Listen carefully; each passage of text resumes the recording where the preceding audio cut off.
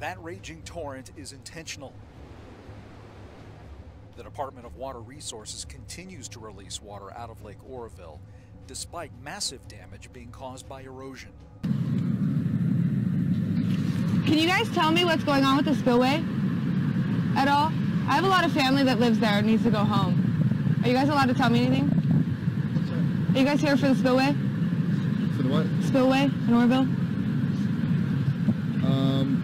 Are you allowed to tell me anything? no, yeah, we're, we're here to support the uh, eventual evacuation. Oroville Dam opened in 1968, creating the reservoir and using its water to generate power. DWR says it was designed with two spillways, this one and another emergency spillway you can't see. It was also designed to handle water coming over the top of the lake.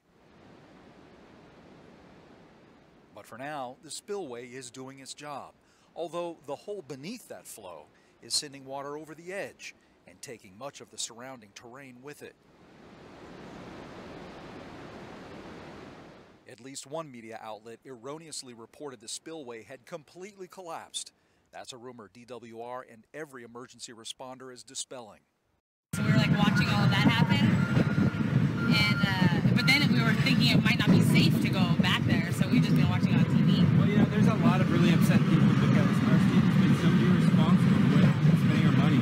Governor Brown wanted to allocate all this money to the bullet train rather than fixing this.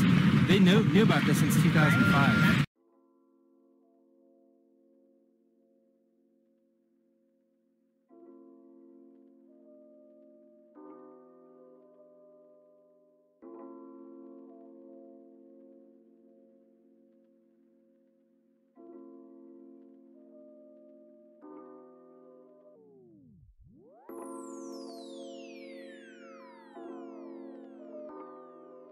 This is a Chucky Beat production.